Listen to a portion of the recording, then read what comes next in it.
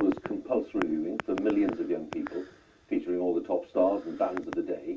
But the Beatles only appeared live on Top of the Pops once, and that was in 1966, and the recording of that show was lost.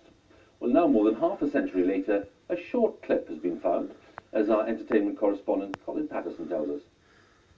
Back in 1966, videotape was so expensive that even the Beatles' only live Top of the Pops appearance was wiped, thought lost forever, until now. The Fab Four, a fab find. 11 seconds of paperback writer unearthed in Mexico.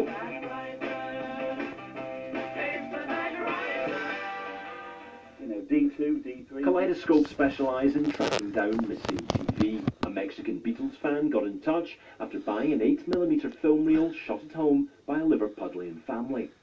I think if you're a Beatles fan, it's a holy grail. There's no doubt about that. The Beatles only did Top the Pops once live in June 1966, and people just thought it was gone.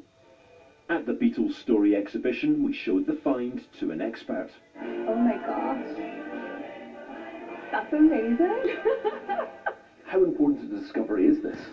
Well, we already have loads and loads of kind of um, audiovisual artifacts, more or less, that we can study. The idea that there's more out there is absolutely, it's amazing, really.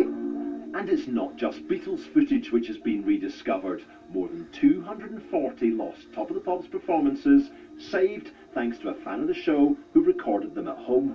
This is Charles Henry Butler Pierce in Bangor, North Wales, September 1976. The new discoveries, including T-Rex performing Metal Guru, will be featured later this month at the BFI South Banks Missing Believed Wiped event. Colin Patterson, BBC News.